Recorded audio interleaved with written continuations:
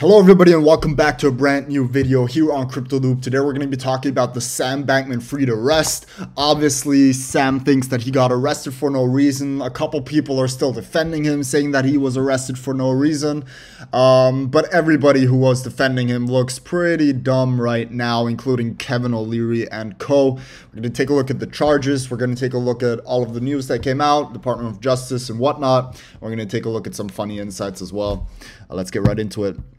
All right, so the criminal charges against Sam Bankman Fried. Unfortunately, I had to pull this from CNN because I could not find the list of charges anywhere else um, on short notice. But, anyways, here are the charges. Conspiracy to commit wire fraud on customers, wire fraud on customers, conspiracy to commit wire fraud on lenders, wire fraud on lenders, conspiracy to commit com- commodities fraud, conspiracy to commit securities fraud, conspiracy to commit money laundering, and conspiracy to defraud the U.S. and violate, uh, and then this this part down there is cut off.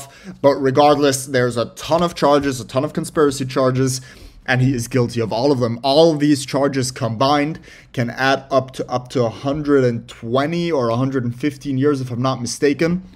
So we're going to take a look right here. This is a statement from the Attorney General of the Bahamas um, on the arrest of Sam Bankman-Fried. On 12th December, the Office of the Attorney General of the Bahamas is announcing the arrest by the Royal Bahamas Police Force of Sam Bankman-Fried, former CEO of FTX.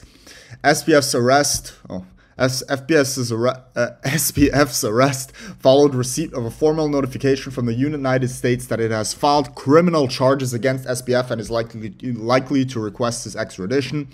As a result of the notification received and the material provided therewith, it was deemed appropriate for the Attorney General to seek SBF's arrest and hold him in custody pursuant to our na- nation's Extradition Act.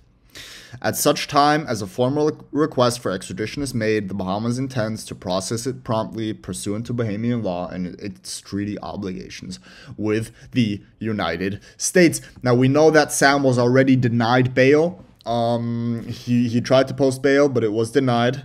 Um, here we go. The next, uh, the next uh, piece of information right here. The defendant concealed his diversion of customer funds of crypto to crypto trading firm Alameda Research while raising more than 1.8 billion dollars from investors. So this is a part of the of the charges. Um, the SEC today charged Sam Bankman-Fried with orchestrating a scheme to defraud equity investors in FTX Trading Limited the crypto trading platform of which he was the CEO and co-founder, investigations as to other securities law securities law violations and into other entities and persons relating to the alleged misconduct are ongoing.